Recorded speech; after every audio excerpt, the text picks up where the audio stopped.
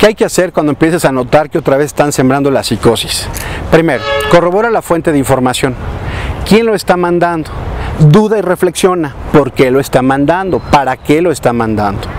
Si tú no conoces quién te lo está enviando, evidentemente están utilizando el banco de información que hay para mandar estos mensajes. Segunda, cuando te digan hay actos vandálicos en tal lugar, no, no puedes creer eso si no tienes una transmisión en vivo, que hoy es lo más normal que hay.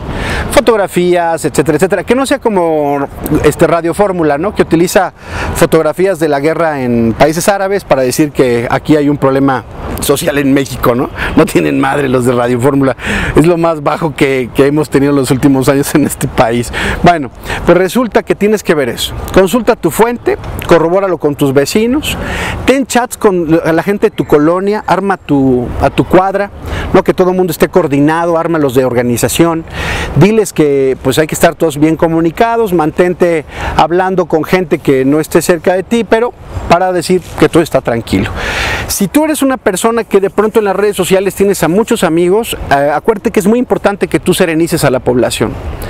Tu papel en la red debe ser tranquilizar a todos y decir, esto acuérdense que ya lo hemos vivido, están sembrando una psicosis para que podamos estar con miedo encerrados en nuestras casas, no quieren que salgamos a protestar, pero hay que salir a movilizarnos, esto, esto no se va a quedar así. Entonces ya cuando dudes de todo lo que te están mandando, duda también de los medios de comunicación alternativos y de los que también de pronto empiezan a aparecer en redes sociales, porque están construyendo medios eh, para redes sociales que desinforman. ¿no? Tenemos esta gran broma que es el de forma, ¿no? Que de pronto caes en esas bromas, pero por ejemplo yo veía al mismo tiempo que se sembraba la psicosis, aparecían fotografías de niños en una playa muertos y decían, en Veracruz acaban de encontrar docenas de cadáveres de niños. Era mentira. Todo eso es mentira. Entonces, no te creas todo lo que está apareciendo. La desinformación es un arma muy importante para generar confusión y que entonces tú digas, ante el desorden, lo que necesito es que venga un papá y que me cuide. Y ese papá que te cuide puede ser el gobierno con toda la represión que siempre ha tenido la policía y el ejército. No le creas a todos, duda de todo, mantente alerta, mantente sereno y sobre todo, respira con mucha calma porque este país no va a cambiar de la noche a la mañana.